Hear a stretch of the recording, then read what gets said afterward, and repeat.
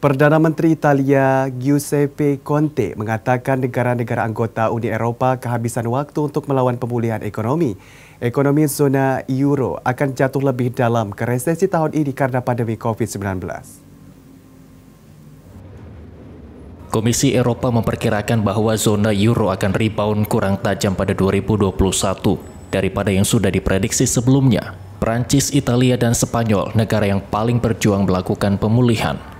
Eksekutif Uni Eropa mengatakan wilayah mata uang tunggal 19 negara akan berkontraksi dengan rekor 8,7 persen tahun ini, sebelum tumbuh 6,1 persen pada 2021. Awal Mei, Komisi memperkirakan penurunan 7,7 persen pada 2020 dan rebound 2021 sebesar 6,3 persen. Setelah bertemu dengan rekannya di Portugal, Antonio Costa, Conte mengatakan pandemi COVID-19 merupakan krisis yang belum pernah terjadi sebelumnya dan mengancam krisis ekonomi dan sosial jika negara-negara anggota gagal saling mendukung. Abbiamo in questo momento bisogno di una ripresa economica non solo dei nostri paesi, ma una ripresa economica per l'intera Europa.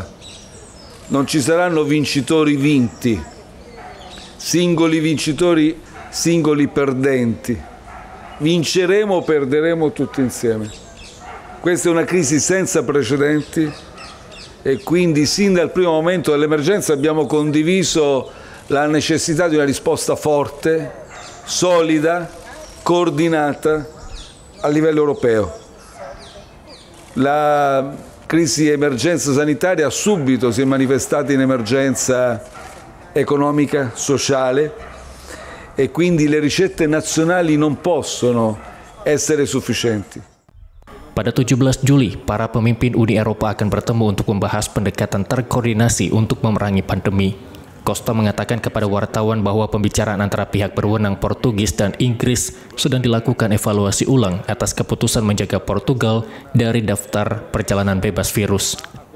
Temos mantido sempre um contacto permanente com o Reino Unido. Ainda hoje o Sr. Ministro dos Negócios Estrangeiros teve uma longa conversa telefónica com o seu homólogo britânico, estamos a trabalhar.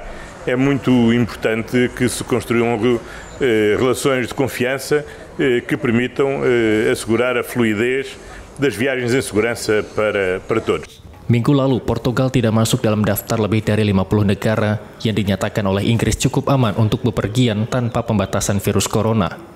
Portugal hanya melaporkan 1.692 kematian yang dikaitkan dengan tingkat pengujian yang tinggi, meskipun Inggris telah melampaui negara itu dalam hal tes per 1 juta orang. Dari Lisbon, Portugal, kontributor Nusantara TV melaporkan.